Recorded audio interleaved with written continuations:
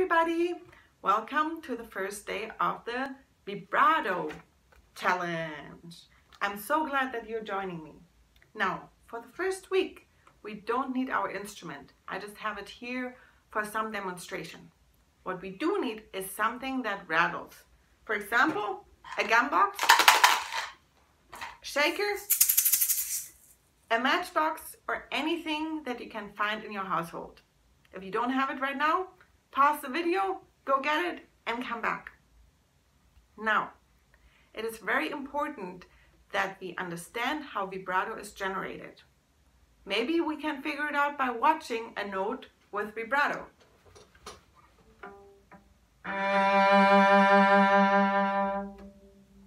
Now, what did you see?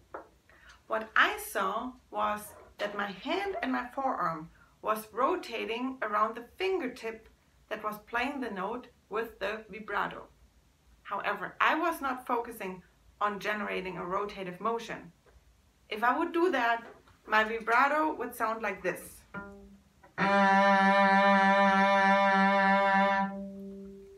First of all, it feels really, really tight. Second of all, it's really slow and I don't really have control to make it faster. I could try,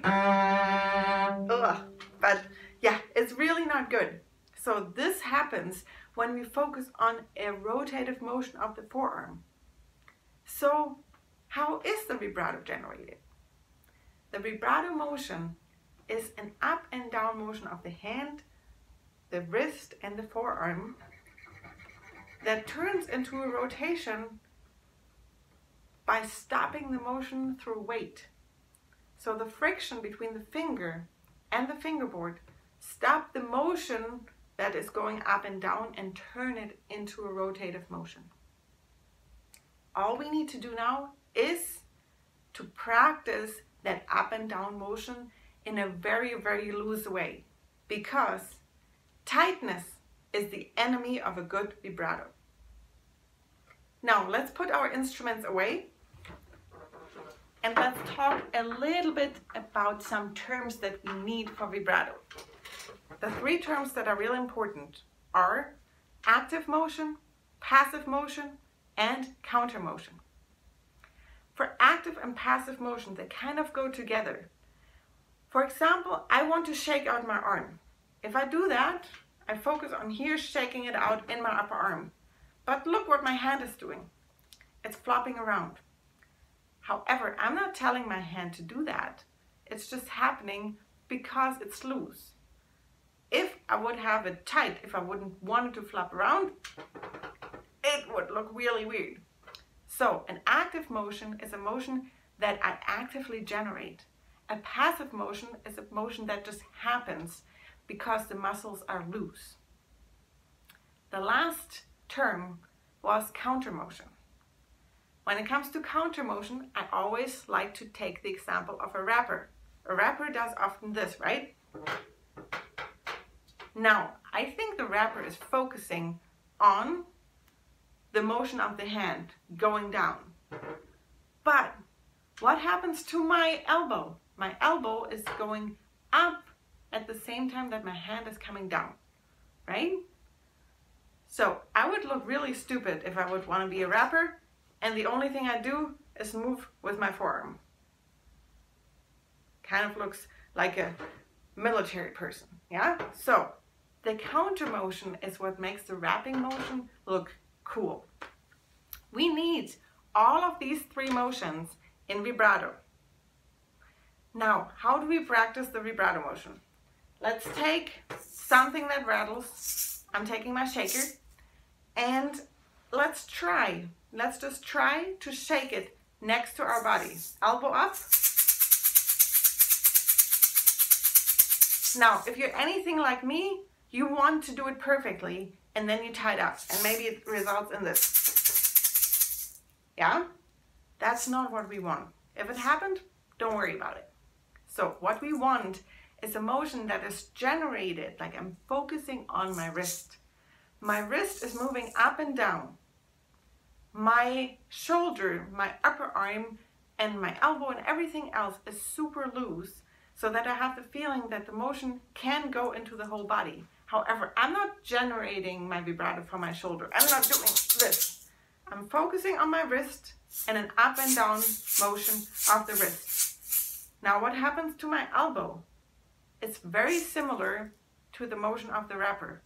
When I move my forearm down and my hand, my elbow goes up.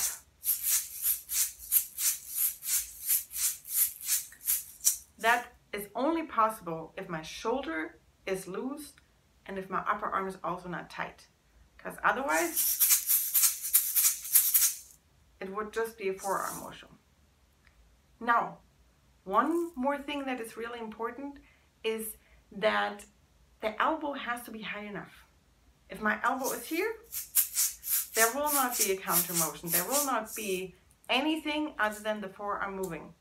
So the elbow has to be up and away from the body in order for this motion to be loose. Now you can practice this slowly and you will get better and better and better. However, I challenge you to do one more thing. I challenge you to have a bigger impulse in the down and away direction. Just one. So elbow up and let's practice this. So really focus on the energy downwards. You see that my hand is rebounding upwards. That's what I want you to do. The second thing is we try to do one impulse for two motions. Now we do it with three. One, two, three. And now with four. Challenge you to do that. One, two, three, four. Once you've mastered that, just take a few days. Once you've mastered that, you can go into a continuous vibrato or a continuous vibrato motion with a shaker where you send an impulse every four beats of the vibrato. So, one, two, three, four, one, two, three, four, one, two, three, four, one, two, three, four. And you see that the generation of the impulse, that comes from the back. I still focus on the motion here, the up and down motion. But if I have no impulse from my back, that's when everything gets super tight and my vibrato will just not work. Okay? If you have any questions, please email me, message me, just get in touch and good, good luck. Bye.